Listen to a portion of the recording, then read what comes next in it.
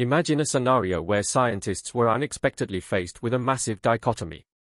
They were unprepared for the stunning revelation that emerged when they first glimpsed the far side of the moon. This hidden part of the moon, long unseen by human eyes, appeared completely different from the familiar near side, covered in countless craters that no one had anticipated. This discovery is not only reshaping our understanding of the moon but also prompting new questions. Space, once a vast mystery, is now being explored more thoroughly than ever before, thanks to advanced technologies like the James Webb Telescope. Join us on an extraordinary journey through space, where every new finding opens up a world of possibilities. For centuries, humanity has gazed at the moon, captivated by its beauty. Yet, despite our fascination and exploration, we have only truly observed one side of it. The other side, often referred to as the dark side of the moon, has remained largely unseen and mysterious. This is due to a phenomenon known as tidal locking, where Earth's gravity has slowed the moon's rotation, causing the same side to always face us. This means the side we cannot see from Earth is the far side of the moon. Occasionally, we can glimpse the edges of the far side due to a slight wobble called libration. In total, about 59% of the moon's surface becomes visible from Earth at different times, but the far side largely remains hidden. Contrary to popular belief, the moon does rotate, however, its rotation period matches its orbit around Earth, taking about 29.5 Earth days to complete both one rotation and one orbit, making its day and year the same length. The term, dark side of the moon, doesn't imply darkness in terms of light, instead, it signifies the unknown. Before spacecraft ventured around the moon, we had never seen this side. Both sides receive nearly the same amount of sunlight on average, but Earthshine, sunlight reflected from Earth, makes the near side slightly brighter. During lunar eclipses, the far side receives a bit more sunlight. The near side of the moon experiences significantly different lighting conditions compared to the far side. At night, when the Earth is full as seen from the moon, the near side receives about 10 lux of illumination, comparable to the light on a city sidewalk under streetlights and 34 times brighter than a full moon as seen from Earth. In stark contrast, the far side during lunar night gets only about 0.001 lux of starlight, barely enough to be noticeable. The entire far side becomes completely dark only when we see a full moon from Earth. The term, dark, also applies to communication challenges. Spacecraft lose contact with Earth when they go behind the moon, a problem encountered during the Apollo missions. This communication blackout is another reason why the far side is considered dark.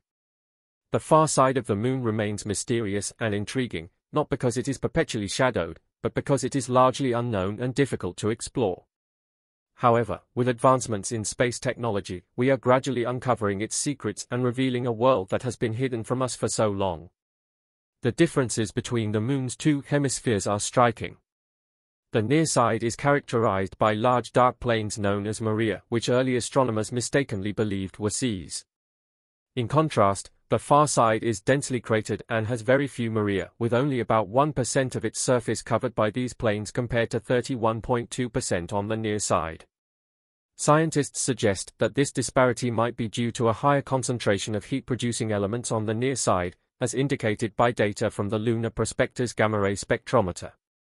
Other factors like surface elevation and crust thickness also play a role, but don't fully explain why the far side South Pole Aitken Basin, despite its low elevation and thin crust, wasn't as volcanically active as the near side's Oceanus Procellarum. One intriguing theory posits that these differences might result from a collision with a smaller moon that formed from the same giant impact that created our moon. This collision could have added a thick layer of material to the far side, contributing to its distinct characteristics. The chemical composition of the moon doesn't fully support the idea that the far side has more craters due to Earth's protection from impacts. Instead, the abundance of visible craters on the far side is primarily due to differences in lunar lava flows. On the near side, lava flows cover and obscure many craters, making them less visible. The National Aeronautics and Space Administration, NASA, notes that from the Moon's perspective, Earth blocks only a tiny portion of the sky, meaning both sides receive a similar number of impacts. The near side simply has fewer visible craters because resurfacing lava flows have hidden them. Recent research suggests that during the Moon's formation, the nearby Earth's heat kept the near side warmer for a longer period, delaying the solidification of the crust and resulting in a thinner crust. This thinner crust made it easier for meteoroid impacts to break through and release lava, forming the Maria. In contrast, the far side's crust thickened sooner, making it less likely for impacts to release lava. The far side of the Moon also features more extreme variations in terrain elevation, with the Moon's highest and lowest points and tallest mountains located there. Until the late 1950s, our knowledge of this hidden hemisphere was limited. Small wobbles in the Moon's orbit, known as librations, occasionally allowed glimpses of the far side, but only about 59% of the total surface was visible, and from such a low angle that distinguishing craters from mountains was challenging. One notable feature visible through libration is Mare Orientale, a vast impact basin nearly 1,000 kilometers wide, which wasn't named until 1906 and whose true nature was only discovered in the 1960s when images were projected onto a globe. The Soviet probe Luna 3 took the first photographs of the far side on October 7, 1959, revealing a landscape with fewer Maria than expected. These images allowed the creation of the first atlas of the far side, published by the Union of Soviet Socialist Republics, USSR, Academy of Sciences in 1960. In 1961, the USSR released the first globe featuring far-side lunar features based on Luna 3's images. Another Soviet probe, Zond 3, sent back higher quality images in 1965, further enhancing our understanding of the Moon's far side. The second part of the Atlas of the Far Side of the Moon, published in 1967, was based on data from the Zond 3 probe and revealed 4,000 new features, including chains of craters, but still no extensive Maria. That same year, the first comprehensive map and an updated globe featuring 95% of the lunar surface were released in the Soviet Union. Many of the far side's features were named by Soviet scientists, who chose names like Jules Verne and Marie Curie. The International Astronomical Union later accepted many of these names. NASA's Ranger 4 was the first spacecraft to impact the far side on April 26, 1962, but it failed to send back data. The most detailed early survey came from NASA's Lunar Orbiter program from 1966 to 1967, with Lunar Orbiter 5 providing most of the far side coverage. The far side was first seen directly by human eyes during the Apollo 8 mission in December 1968, where astronaut William Anders described it as looking like a heavily used sandpile full of bumps and holes. All 24 astronauts from Apollo missions 8 through 17 saw the far side, and multiple lunar probes have photographed it since. Communicating with spacecraft on the far side is challenging because they are out of direct radio contact with Earth, a situation that caused tense moments during the Apollo missions until the craft reappeared.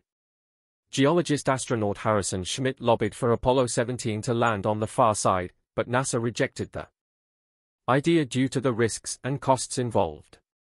In 2018, China launched the Queqiao relay satellite to the Earth-Moon L2 point to facilitate communication with the Chang'e 4 lander and Yutu rover on the far side. This point is also considered ideal for a proposed propellant depot for future space missions. In January 2019, history was made when China's Chang'e 4 spacecraft gently touched down on the enigmatic far side of the Moon, marking humanity's first soft landing on this unexplored lunar territory. Equipped with advanced scientific instruments, including a low-frequency radio spectrograph and geological tools, the mission aimed to explore and study this unique region of the Moon. The far side of the Moon, unlike the familiar near side that constantly faces Earth, offers a unique sanctuary from terrestrial radio interference, making it an ideal haven for radio astronomy. This advantage allows astronomers to explore the cosmos without the disruptive hum of Earth signals. In a remarkable development, Chinese scientists unveiled high-resolution images captured by the lunar penetrating radar aboard the Yutu-2 rover in February 2020. These images provided unprecedented insights into lunar ejecta formations, revealing crucial details about the Moon's geological history and internal structure. Such revelations pave the way for a deeper understanding of lunar evolution and planetary dynamics.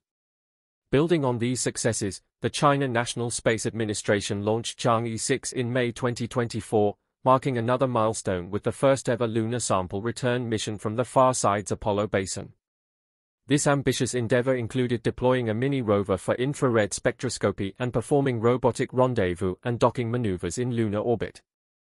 The mission culminated in the safe return of lunar samples to Earth, heralding a new era of lunar exploration and scientific discovery. Looking ahead, NASA and the U.S. Department of Energy are collaborating on the Lunar Surface Electromagnetics Experiment, LUSEE, lander, scheduled for potential deployment by 2026. This robotic observatory aims to explore the Moon's far side, measuring electromagnetic waves dating back to the universe's infancy. Such endeavors promise to uncover crucial insights into cosmic origins and the early universe's evolution. The far side of the Moon also presents promising prospects for future astronomical installations, including radio telescopes nestled within its serene, crater-dotted landscape. These installations could harness the Moon's natural shielding from Earth's radio transmissions, offering an unparalleled vantage point for observing celestial phenomena. However, significant challenges, such as dealing with the Moon's fine dust, must be addressed before these visions can be realized. The moon's fine dust poses a persistent threat to equipment and instruments, necessitating innovative solutions for contamination control. Additionally, the materials used in constructing lunar observatories must withstand the harsh realities of space, including solar flares and cosmic radiation. Beyond scientific exploration, the Moon's South Pole Aitken Basin stands as a tantalizing target for future sample return missions. This colossal impact crater, spanning nearly 2,400 kilometers, offers a unique window into the Moon's geological past. Samples retrieved from this region could unlock invaluable insights into lunar composition and the cataclysmic events that shaped its surface. Moreover, the far side's Maria, shielded from the solar wind by Earth, harbor significant concentrations of helium-3, a rare isotope with potential applications in future fusion reactors. This valuable resource underscores the Moon's potential role in advancing sustainable energy solutions and fostering human settlement beyond Earth. In a groundbreaking new study, scientists from institutions around the globe have delved deep into the Moon's mysterious geological past, unearthing compelling evidence to shed light on the long-standing enigma of its dark side. The research, spearheaded by experts from the Earth Life Science Institute at Tokyo Institute of Technology, the University of Florida, and other esteemed organizations, has revolutionized our understanding of lunar asymmetry. This asymmetry, characterized by stark differences between the moon's near and far sides, has baffled astronomers for decades. Through a meticulous blend of experiments, sophisticated computer modeling, and detailed analysis of lunar surface data, the team uncovered a pivotal factor, radioactive elements.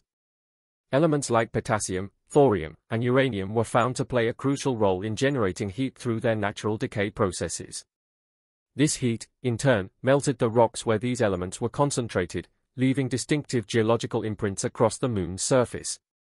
Dr. Matthew Laneuville, a prominent planetary scientist and co-author of the study, highlighted the importance of these findings in enhancing our understanding of the Moon's complex geological history.